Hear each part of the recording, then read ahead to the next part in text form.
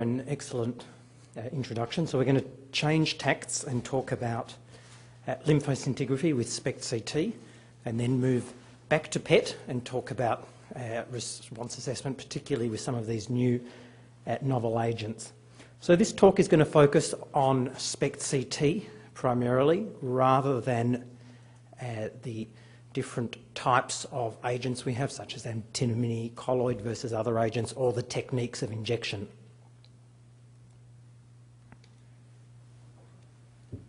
I have no conflicts of interest to disclose with uh, either of these talks. Uh, so sentinel node lymphoscintigraphy has become the standard of care for patients with uh, melanomas over one millimetre, and this is based on a large trial published in the New England Journal back in 2006, uh, showing that if you were sentinel lymph node positive, your disease-free survival was substantially worse than if your sentinel lymph node was negative. So it's a major prognostic factor. How, whether this improves outcome is debatable, and there's an MSLT2 study currently underway which is randomising patients if you're sentinel lymph node positive to go on and have an axillary clearance, to uh, having an observational approach and just using it as a prognostic factor. And those results won't be through until uh, 2022. So there's a little bit of debate in the literature as to whether this, uh, whether this should be standard of care because it is an invasive approach to get further information on prognosis. The patient may have a significant pain syndrome afterwards or lymphedema, and if it only provides prognostic information, uh, you may not want to undergo uh, such a procedure merely to know whether or not you're going to do better or worse. With these new agents on the market, it may be more important to stage patients better. So you could argue that the relevance of a sentinel uh, lymph node positivity is more important to understand. But you could also argue the contrary as we learn uh, how immunological melanoma is as a malignancy, cutting out the regional node where the lymphocytes are going to perhaps uh, control your disease is something that you could also argue does not make much sense. So there's a little bit of controversy. This is a patient with an eyelid melanoma. These are the dynamic planar images. We can see intense uptake at the site of injection and some faint uptake in the uh, left side of the neck. Uh, with SPECT CT, we've got the SPECT image on the left, and we can appreciate immediately on the SPECT, this is a SPECT at 20 minutes, how much better the target to background contrast is. Those very faint uptake on the planar images show up as very intense activity on SPECT. And we can see that there's three lymph nodes in a, in a chain. Uh, it may also be that there's two sentinel nodes here, one and then a second chain going to this node. But this node here is clearly a secondary tier node or tertiary tier node and does not need to be sampled. So the planar dynamic imaging can still be often useful just to see how many paths uh, the lymphatics are tracking to determine how many sentinel nodes there are. We're routinely providing our surgeons with these uh, volume rendered CT images fused uh, with the SPECT data, and the surgeons really like this to be able to localise uh, where to look. Let's take some cross-sectional images through this to have a look at this in greater detail. So we've got intense uptake at the injection site, and as we come down inferiorly, there's a pre-auricular node, and I have to say that some of the older surgeons actually find these cross-sectional images somewhat difficult to get their head around, whereas they very much like the combination of having a cross-sectional slice with this surface-rendered uh, SPECT CT overview image. And we can also do a fused multiplanar reconstruction through this, giving the surgeon a good idea of how deep the lesion is relative to skin and allowing them to make a more precise uh, surgical approach. This is uh, either a secondary or, a, or a, uh, probably a secondary tier node, and we can see how there's marked flare because of very intense uptake, but if we wind the intensity down, we can see that this correlates with a very small submental node. And one of the nice things about SPECT CT is very often you do actually appreciate a tiny subcentimetre node at that site, confirming that it is a, a nodal station rather than a site of lymphatic holdup, such as a lymphatic lake or a lymphangioma. Does this make a difference to patient management and outcome. And there's a number of studies now showing that SPECT-CT is uh, very useful. So this is a study of 85 selected patients, uh, 51 difficult to interpret planars, unusual drainage pathways or non-visualisation. They selectively went on to have a SPECT-CT and there was a clear advantage in over a third of patients, leading to a different incision in 20%, a different site of surgical incision in 10%, or an additional incision in 6%.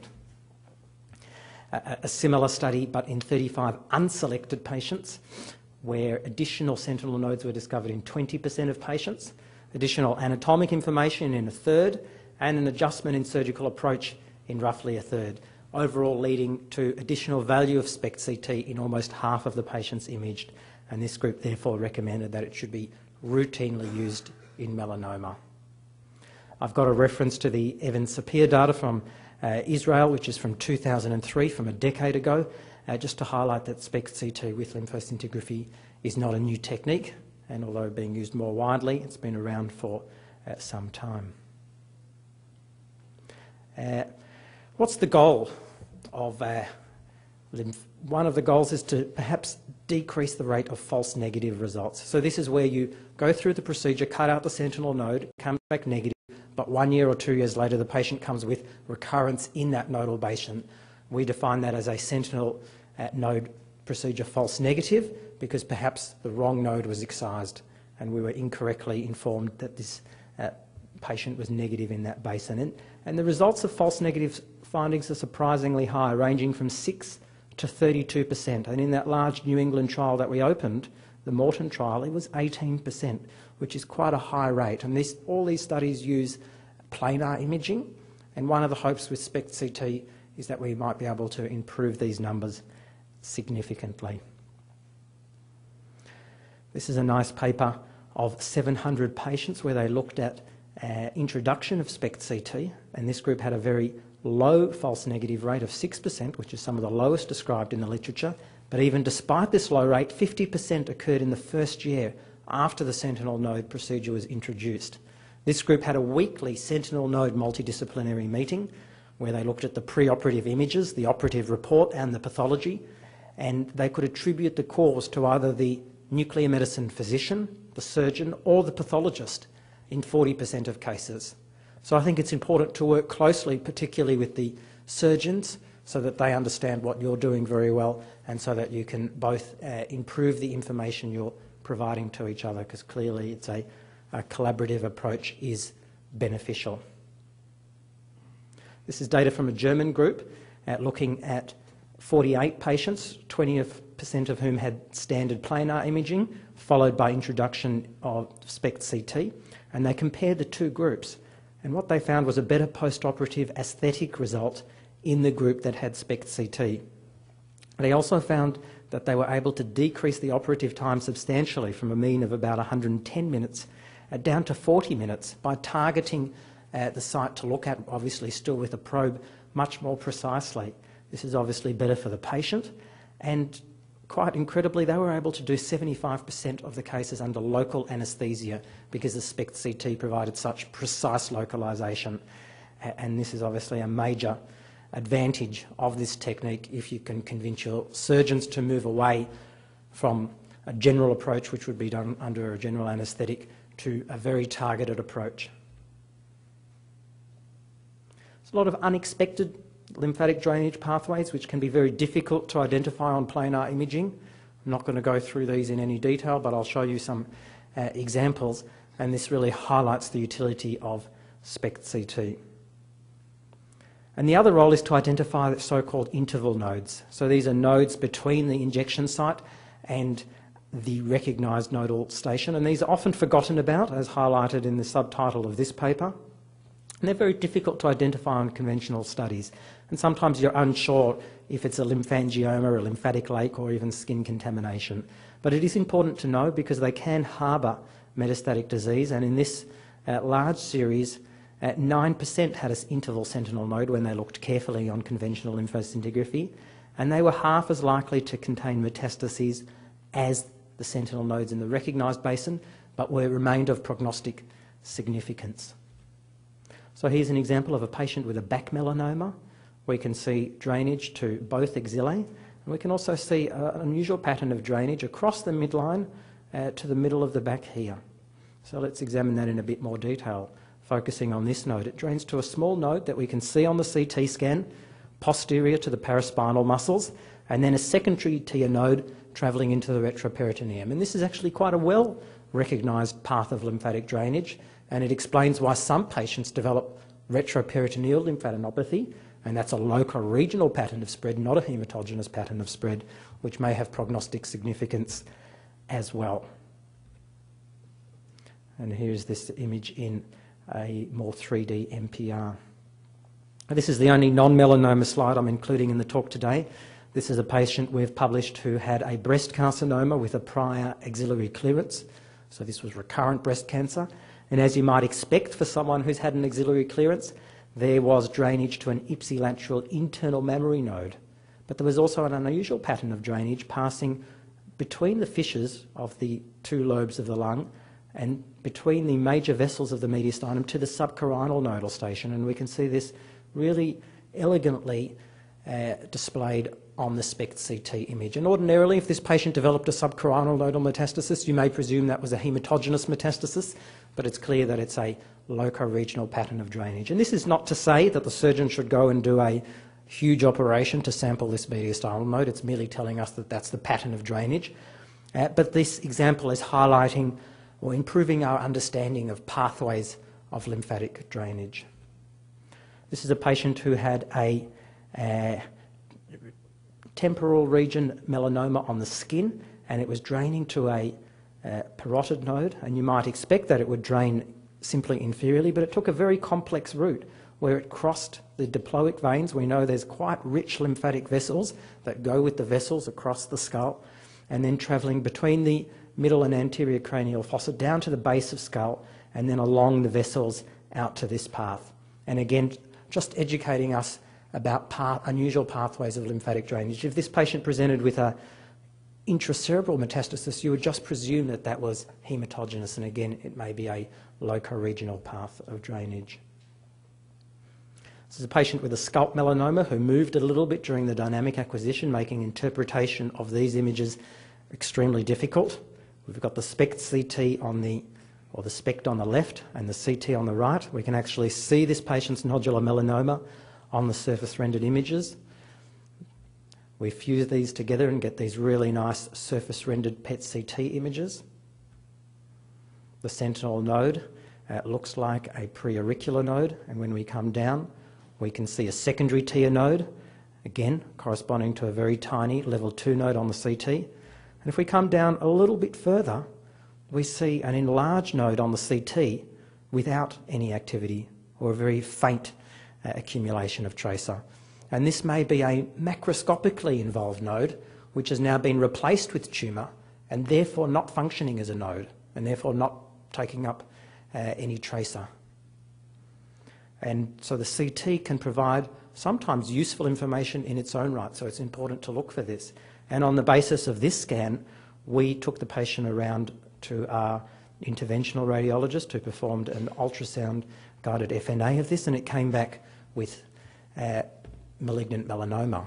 And we called up the surgeon and said, perhaps he should abandon this procedure today. And he wasn't too happy because he's got a busy list and he likes to do all the cases that are on his list because we recommended that this patient have an FDG PET CT for staging because a neck dissection or even sampling of the nodes will be a futile exercise if there's distant metastatic disease, and this patient perhaps has a high a priori likelihood of that.